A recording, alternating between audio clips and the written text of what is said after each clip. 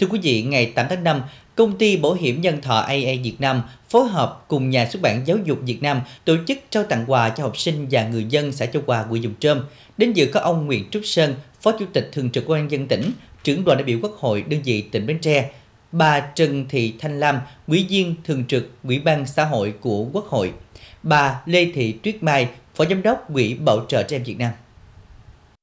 Phát động từ năm 2014, Bảo hiểm nhân thọ AIA Việt Nam đã đồng hành cùng Quỹ Bảo trợ trẻ em Việt Nam tổ chức thực hiện chủ chương trình Hành trình cuộc sống trên khắp cả nước. Tới nay, ban tổ chức đã quyên góp và trao tặng trực tiếp hơn 20.000 xe đạp, hơn 600 hợp đồng bảo hiểm nhân thọ miễn phí và hàng chục ngàn xuất quà cho trẻ em có hoàn cảnh khó khăn tại hơn 50 tỉnh thành.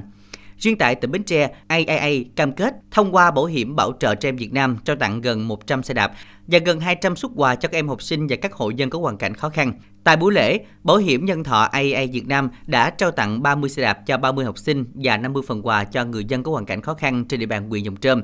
Nhà xuất bản Giáo dục Việt Nam đã tài trợ sách và trang thiết bị kinh phí sơn sửa nội thất cho trường tiểu học Châu Hòa, huyện Dòng Trơm và trường tiểu học An Quá huyện Châu Thành với tổng giá trị 300 triệu đồng. Dịp này, đại diện lãnh đạo tỉnh Bến Tre đã trao bằng khen của ban nhân dân tỉnh cho các nhà tài trợ.